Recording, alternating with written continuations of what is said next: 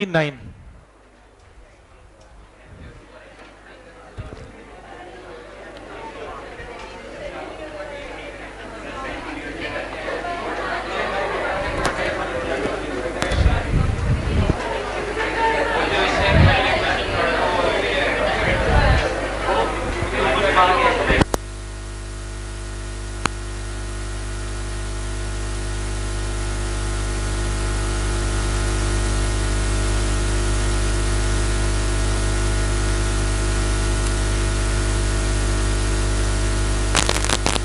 Okay next देखते हैं. Gravitational field मतलब सिंबल बोलो. ई ग्रेविटेशनल फ़ील्ड या ग्रेविटेशनल फ़ील्ड इंटेंसिटी का सिंबल इज़ ई किसकी वजह से? Due to hollow sphere hollow sphere को क्या बोलते हैं? शेल तो एक सेम फॉर्मूलाज हैं. सबसे पहले फॉर्मूला किसका? शेल का. एक शेल के इनसाइड इनसाइड का मतलब है, अगर ये कैपिटल आर है तो ये स्मॉल आर ई की वैल्यू बोलो क्या होती है? तो ठीक है, पहला फॉर्मूला ज़ीरो उसी तरीके से अगर कोई पॉइंट बाहर है तो ई की वैल्यू बोलो क्या होगी? G M divided by R square इसका मास एम है। यही होगा ई आज किया। और सरफेस के ऊपर जाते हैं तो स्मॉल आर को किससे रिप्लेस कर देना है? कैपिटल आर से। क्लियर है। ऑब्जेक्टिव में और एनसीईआरटी में ग्राफ मार्क करने को आएगा कि अगर आपको कहा जाए ई e और आर का ग्राफ प्लॉट करो तो स्मॉल आर का ई e के साथ तो एक पॉइंट आएगा मैं small R is equal to capital R अगर आपका स्मॉल आर कैपिटल आर से कम है, यानी कि आपका पॉइंट इनसाइड है तो ई e एग्जिस्ट नहीं करेगा। ई इज़ ज़ीरो और small R is equal to capital R पे, जो ई e होगा that is inversely proportional to small R का स्क्वायर तो ग्राफ की वेरिएशन याद रहेगी, ये याद करने है। ग्राफ कैसे बनता है? ये पता होना चाहिए, ये मार्क करने को ऑब्जेक्टिव में भी आता है और एनसीईआरटी e के एक नंबर में या दो नंबर में बनाने को भी आ सकता है। कोई डाउट इसमें। क्लियर है? नेक्स्ट ग्रेविटेशनल फ़ील्ड फिर से। क्या निकालना है? ई e. लेकिन इस बार किसका निकालना है? सॉलिड स्फेयर का। तो E due to solid sphere solid sphere के अगर कोई पॉइंट इनसाइड है इनसाइड है तो थोड़ी देर पहले ई e का फॉर्मूला किया था। अगर इसका मास एम है तो G M R by capital R का क्यूब ये किया था हमने। और अगर कोई पॉइंट बाहर है small R greater than R पे है तो ई e का formula was G into M by R का राइट तो जब तक आपका small R less than R है, यानी कि आप इनसाइड हो तो E is directly proportional to small R बोला जा सकता है। ई e और छोटे आर में क्या रिलेशन है? E directly proportional to small R और अगर आपका पॉइंट आउटसाइड है E inversely proportional to R square तो ग्राफ क्या बनेगा? स्मॉल आर अगर कैपिटल आर से लेस है तो E directly proportional to small R era और ये कैपिटल आर पे सरफेस के ऊपर ई e क्या हो जाता है? G M by capital R square और अगर आप बाहर आते हो E is inversely proportional to small R square तो ग्राफ की वेरिएशन समझ में आ रही है। शेल में ऊपर वाली है और सॉलिड स्फेयर में नीचे वाली है। याद रहेगा यहाँ तक? तो आधे ग्राफ में E directly proportional to R है और बाहर आके inversely proportional to R square है। कोई डाउट इसमें? ठीक है यहाँ तक?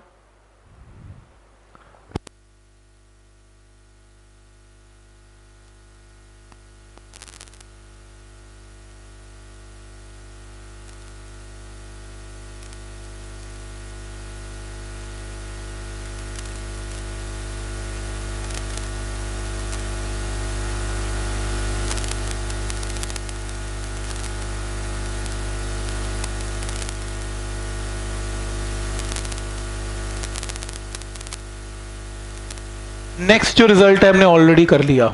E is minus D V by D R और ये भी नेक्स्ट रिज़ल्ट भी हमने कर लिया। इस रिंग को छोड़ दें एक मिनट के लिए, यहाँ पे आ जाएँ। अभी तक हमने दो चीज़ें सीखी शेल और सॉलिड स्फेयर के इनसाइड एंड आउटसाइड फोर्स कैसे निकलेगी शेल और स्फेयर के इनसाइड एंड आउटसाइड ई कैसे निकलेगा। अब शेल और स्फेयर के इनसाइड एंड आउटसाइड वी की वैल्यू क्या होगी इसको पोटेंशियल बोलते हैं, वो भी दो फॉर्मूला नोट करने हैं। तो स्टार्ट करते हैं। सबसे पहले हॉलो स्फेयर लेते हैं। तो सबसे पहले ये क्या है? हॉलो स्फेयर तो एक हॉलो स्फेयर ये रहा हॉलो स्फेयर जिसका रेडियस आर और मास एम मेरे को वी निकालना है। कहाँ पे? At a distance of small R यहाँ पे। क्या निकालना है? वी निकालना है। ठीक? अंदर मास नहीं है, खाली है। राइट ना ज़ीरो नहीं है। क्योंकि e जो होता है, वो हमेशा क्या होता है? Minus D V by D R ये रिज़ल्ट हमने किया थोड़ी देर पहले अभी। मुझे एक चीज़ बताओ कि शेल के अंदर e क्या होता है? किसी भी पॉइंट पे ज़ीरो ज़ीरो होता है तो v को क्या होना पड़ेगा? कांस्टेंट तो v ज़ीरो नहीं होता, इसमें v कांस्टेंट होता है। ज़ीरो नहीं होता कांस्टेंट होता है। V ज़ीरो इसलिए नहीं होता रीजन भी बता सकता हूँ। हर कोई मास डीएम डीएम डीएम कुछ ना कुछ तो v में कंट्रीब्यूट करेगा। जैसे ये करेगा minus G M one by R minus G M two by R कुछ भी करना होगा तो आंसर ज़ीरो कैसे आएगा? कुछ तो कॉन्ट्रीब्यूशन होगा। लेकिन वी कांस्टेंट होना चाहिए ताकि नेट ई e क्या आ जाए डिफ्रेंशिएट करने के बाद ज़ीरो ताकि मेरा रिज़ल्ट भी सही हो जाए। क्या ये रूल क्लियर है? तो वी कांस्टेंट समझते हो। वी अगर मैं ये बोलता हूँ कि शेल के इनसाइड वी की वैल्यू कांस्टेंट है मतलब अगर यहाँ पर वी की वैल्यू 10 है तो फिर यहाँ पर भी 10 है। यहाँ पर भी, यहाँ पर भी 10 यहाँ पर भी 10 है। इसको बोलते हैं कांस्टेंट होना। राइट तो v की वैल्यू शेल के इनसाइड किसी भी पॉइंट पर क्या होगी? इसका फॉर्मूला है। इसका फॉर्मूला है। सबसे पहले यह बताओ कि अगर ये मास m है और मैं कैपिटल डिस्टेंस पे सरफेस के ऊपर वी निकालना चाहता हूँ तो सरफेस के ऊपर याद रखना फॉर्मूला होता है minus G M by capital R ये याद रखना है। सरफेस के ऊपर वी क्या होता है? Minus G M by capital R right shell theorem कहते हैं उसको पॉइंट मास मान सकते हो ना तो पॉइंट मास का रिज़ल्ट लग गया minus G M by capital R लेकिन क्योंकि मैंने ये भी कहा कि v की वैल्यू यहाँ पर भी, यहाँ पर भी, यहाँ पर भी, यहाँ पर भी सेम रहेगी।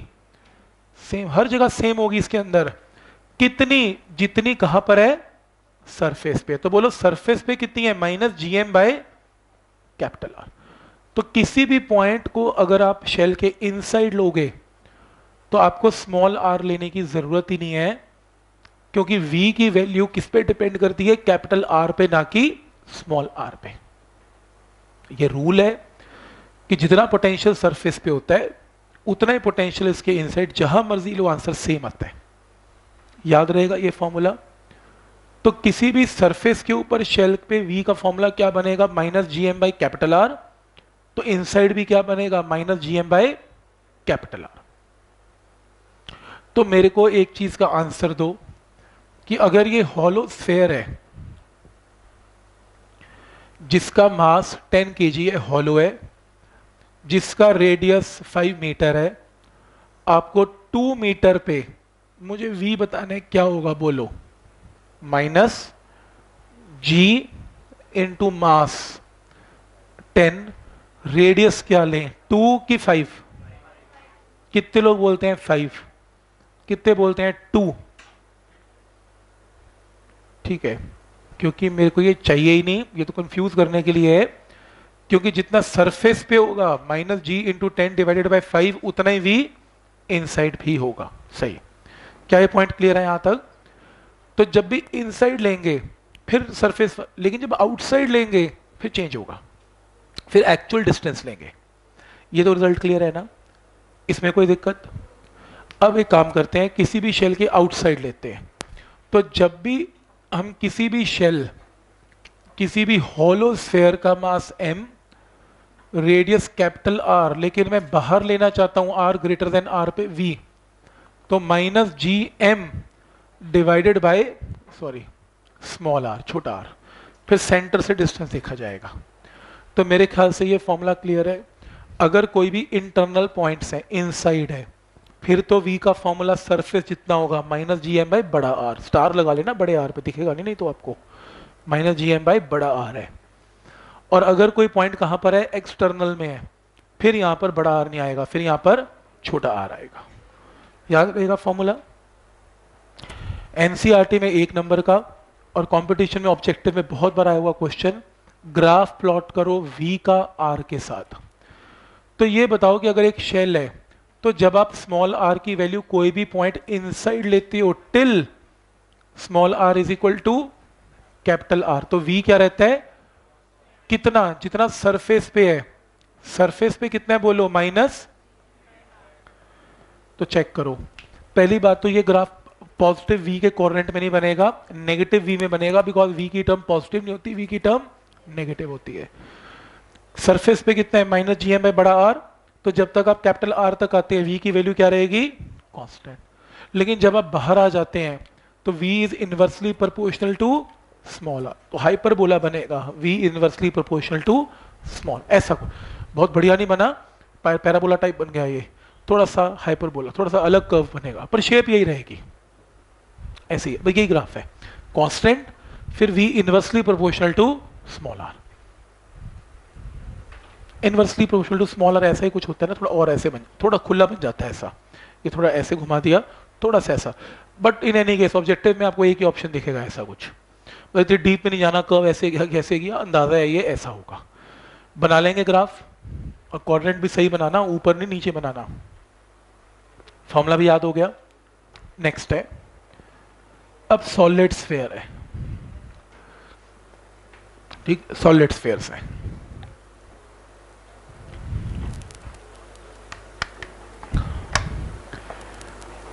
जो सॉलिड स्फेयर है, उसके अगर आउटसाइड की बात करते हो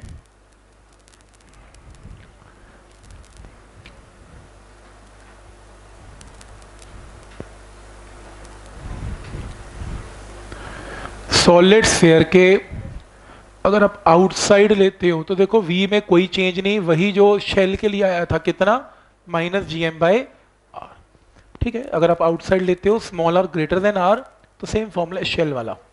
इवन अगर आप सरफेस के ऊपर लेते हो तो वो भी formula will remain same minus G M by capital लेकिन अगर आप इनसाइड लेते हो V inside that is small R less than R फिर आपको ये फॉर्मूला करना पड़ेगा।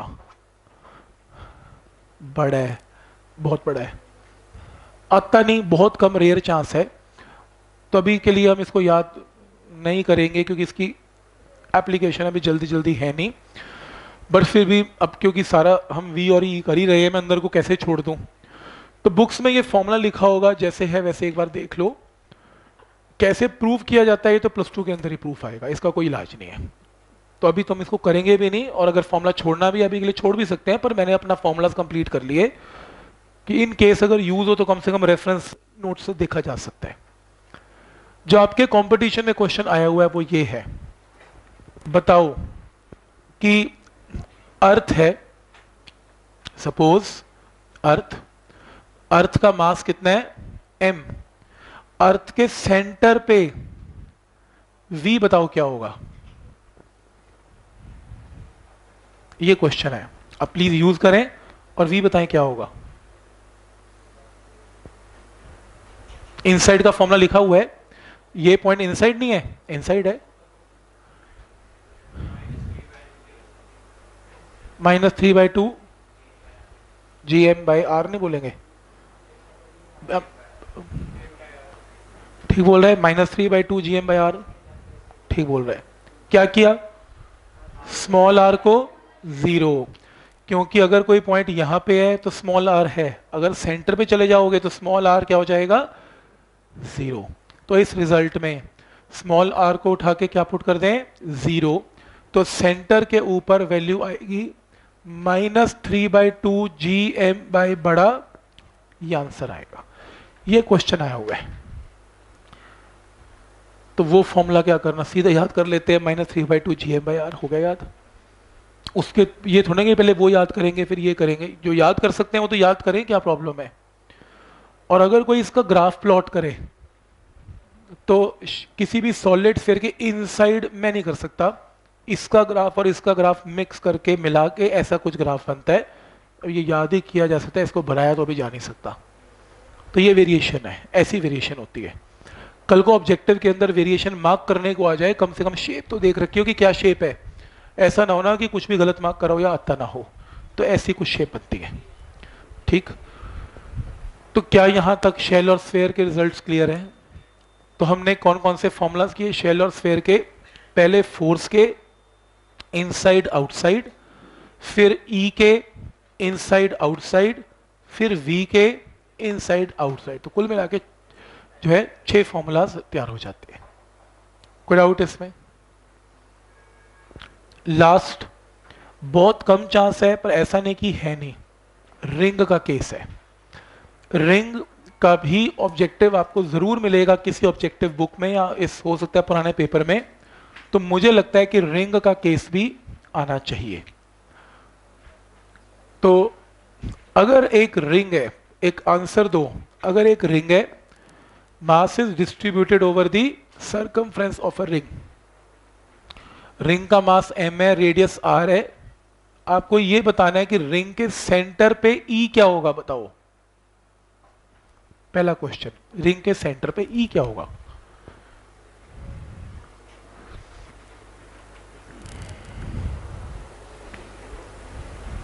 कुछ लोग ज़ीरो बोल रहे हैं, ऐसा क्यों?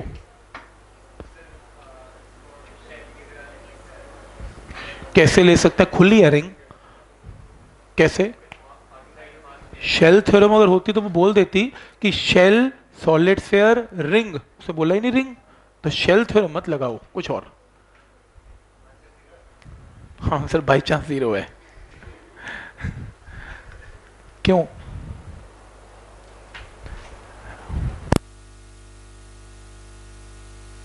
चारों तरफ़ से इक्वल फोर्स लग रही है, क्योंकि जहाँ ई e निकालना है, वहाँ मास इमेजिन करना है प्लस वन ये स्मॉल मास इसे अपनी तरफ़ क्या करेगा?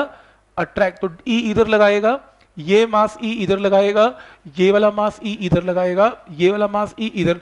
जितने भी एलिमेंट्स लेते जाओगे आपस में ई कैंसिल होती जाएँगे और नेट ई ज़ीरो आ जाएगा बिल्कुल सही। तो बनाओ, ये यहाँ बना नहीं हुआ। नेट ई की value at the centre of the ring लिखो ज़ीरो। तो ये बनाओ।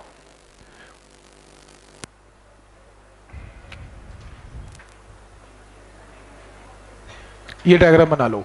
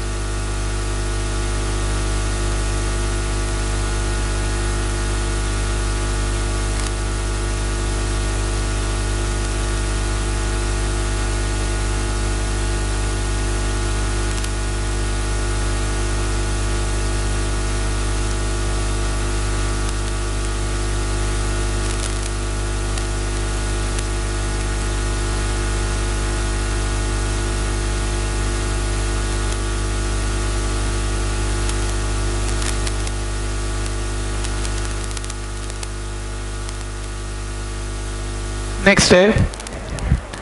अब ये रिज़ल्ट देखो।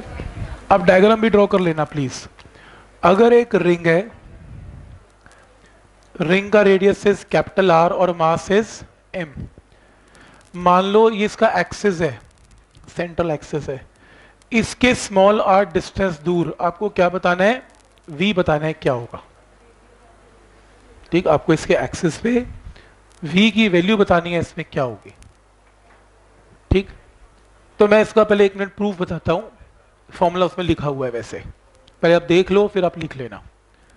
तो रिंग एक पॉइंट मास नहीं है। ये लेकिन यहाँ पर वी मुझे निकालना है not due to point mass तो मैं सीधा अपना फॉर्मूला तो यूज़ नहीं कर सकता, क्योंकि पॉइंट मास के लिए वैलिड और सेंट्रो मास में ले नहीं सकता, क्योंकि सेंट्रो मास सिर्फ़ स्फेयर में लगता है। तो एक काम करते हैं, हम इसका स्मॉल एलिमेंट लेते हैं, छोटा सा कितना? डीएम इस डीएम का डिस्टेंस डायरेक्ट यहाँ से कितना है? Under root of R square plus तो ये डीएम यहाँ पर स्मॉल पोटेंशियल लगाएगा कितना? Minus G into M by distance कितना है? R square plus R square ठीक है ना? Minus G M by R सीधा फॉर्मूला लगा दिया। स्मॉल पोटेंशियल आ गया। ऐसे तो बहुत सारे मासेज हैं जो यहाँ पर डीएम डीएम डीएम करके डीवी डीवी डीवी लगाते जाएँगे and V is a scalar quantity तो ऐड ही होते जाएँगे तो टोटल वी निकालने के लिए दोनों तरफ़ की क्या कर देंगे? इंटीग्रेशन तो यहाँ पर जो इंटीग्रेशन है, वो विद रिस्पेक्ट टू मास होगी। Total mass DM DM DM DM DM करके क्या आ जाएगा? Total mass will be equal to M under root of R square plus R square तो आप चेक कर सकते हो एक्सिस के ऊपर वी का ये फॉर्मूला है। तो इसके साथ ये फिगर भी बना लो और लिखना है तो ये लिख भी सकते हो। फिगर बनानी है फिगर बना के सिर्फ़ फिगर बना लो तो भी चलेगा। क्योंकि आपको प्रूफ तो कोई पूछ नहीं रहा। आप सिर्फ़ फॉर्मूला नोट किया हुआ है, इसके आगे ये फिगर फिगर ड्रॉ कर लो, बस दैट सेट और कुछ नोट करने की ज़रूरत नहीं है, बस फिगर ड्रॉ करो। इस फिगर के ऊपर v लिख लेना, बस minus G M by under root of R square plus that set ये लिख लेना। ये लिखने की ज़रूरत नहीं चाहे। बस ये डायग्राम बना लेना।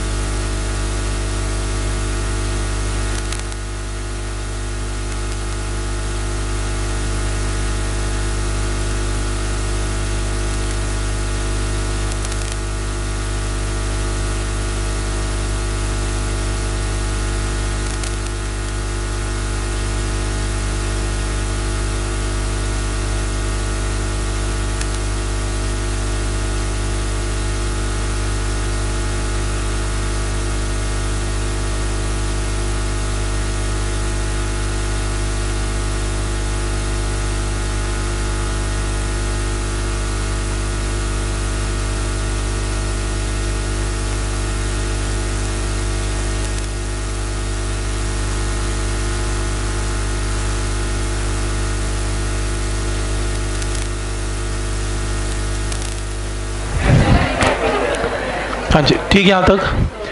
बोलो।